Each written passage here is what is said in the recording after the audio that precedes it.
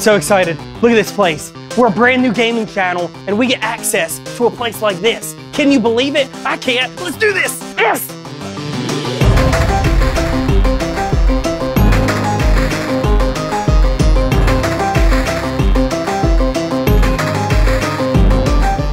Hello, my name is George Edmondson with MotionVFX.com.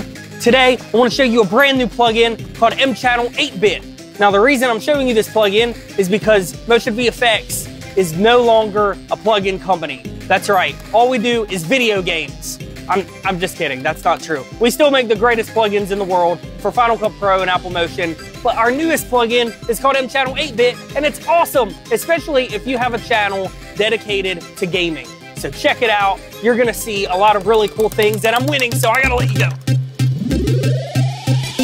So here we are in Apple's Final Cut Pro, and we're going to really quickly look at mChannel 8-Bit, the brand new plugin from MotionVFX. You can locate mChannel 8-Bit in the titles as well as in your transitions. mChannel 8-Bit comes with 18 add-ons as you can see here. These are all pre-animated, of course, with your alpha channel so that you can quickly overlay these onto your footage. mChannel 8-Bit also comes with six different unique pre-animated backgrounds.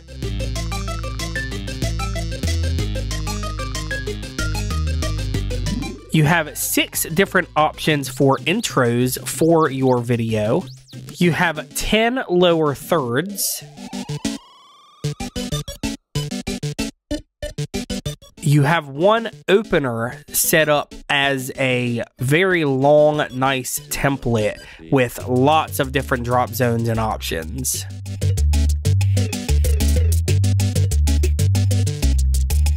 You have six separate overlays.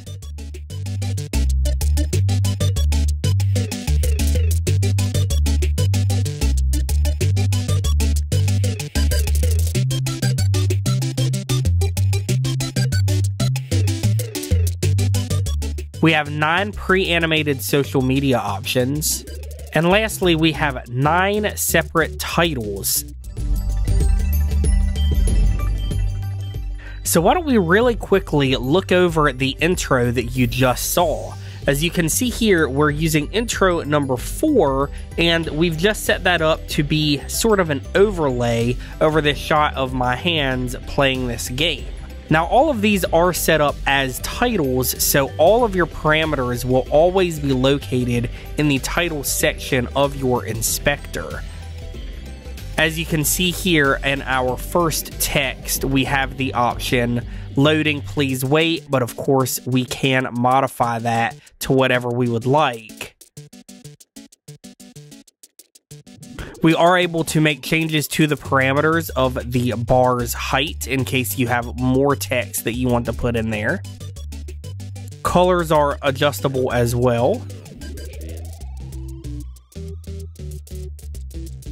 And as we scroll down a bit more, we can see that we have our drop zone and that is, of course, going to be the awesome MotionVFX logo that we have applied there. You are able to scale this content up or down using our on-screen controls. Let's move forward to this next scene because this was a really fun piece to put together. As you can see here, we have our content on the screen.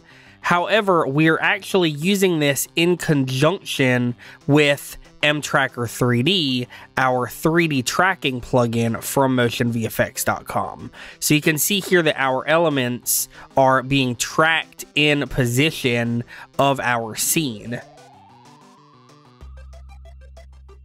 Now, the way we did this is we used mTracker 3D on this clip. We have many tutorials on how to use mTracker 3D, but we went in and we copied our track and we used the drop zone 1 from mTracker 3D on all of these different elements. Now, with our drop zones, we needed to use a compound clip of our titles in order for that animation to hold. So let me disable this really quickly. and I can open up some of these. We take our title element and by pressing option G, we create a compound clip so that that element is still animated inside of our drop zone. We then work with our tracker to just place those in position, and that was so much fun to do. So let's skip ahead and you can see here that this is our loading episode 1 title number 4 preset.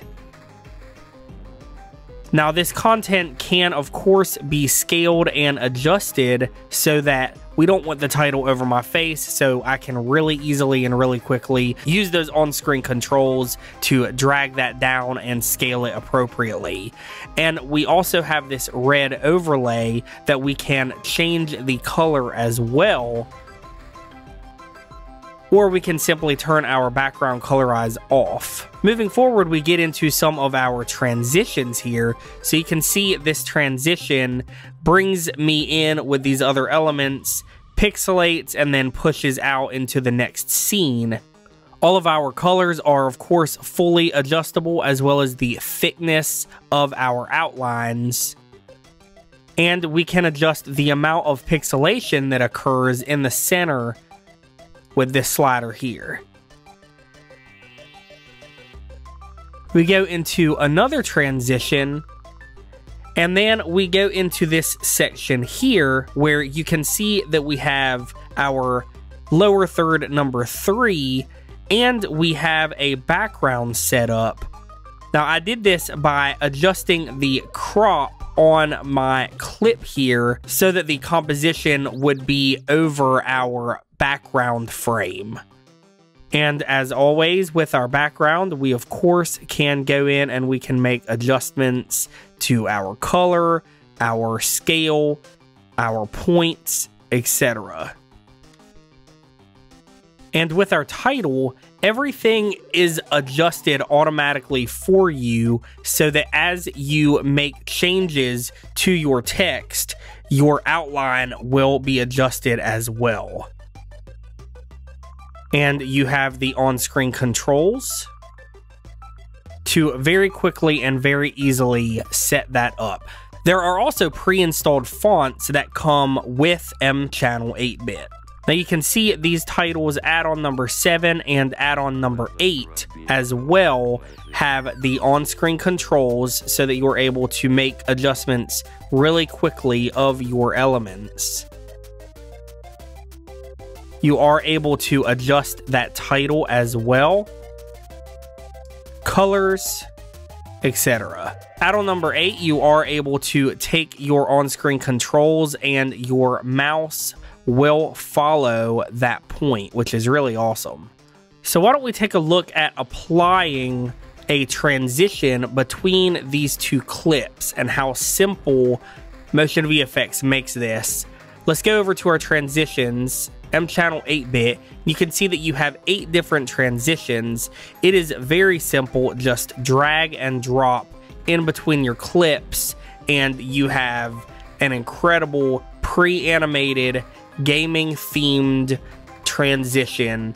Preset looks incredible. Of course you can make any changes that you want to our text. As with any transition, if you grab and drag in or out, you can change the duration of that transition.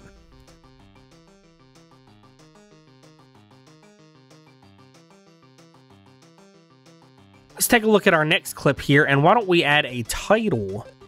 Why don't we add some add-ons here, and we can use a background as well. So let's bring our background in beneath our clip, and scale our clip down just a bit. We'll drag our background in so you can see here that our background is now beneath our clip.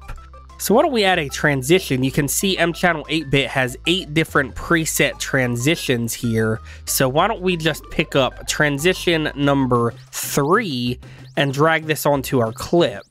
You can see here that that opens up our transition. Now notice we do have a black background before we see our scene. That's okay if we want to right click on that transition and go transition to from black. Let's uncheck that and you can see that that has that transparency now.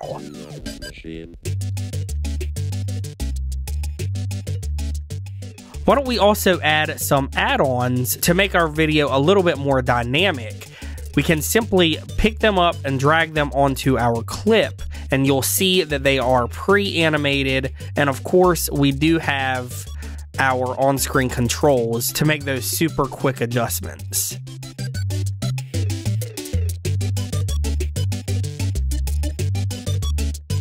Once again, this is George Edmondson with MotionVFX.com. Thank you for checking out mChannel 8-Bit, now available from MotionVFX.com.